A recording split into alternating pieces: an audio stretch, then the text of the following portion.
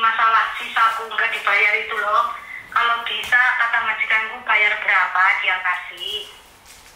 Bukan, ya kamu harus ke sini lihat datamu. Kita nggak tahu bisa apa enggaknya. Makanya kamu sudah renew sama orang lain apa belum? Itu belum renew. Ah, belum renew. Makanya semua datamu bawaan ke sini. Terus masalahnya seperti apa? Be- be- eh, besok bisa nggak besok?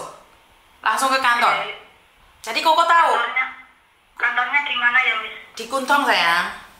Kuntong. Mm-mm. Kuntong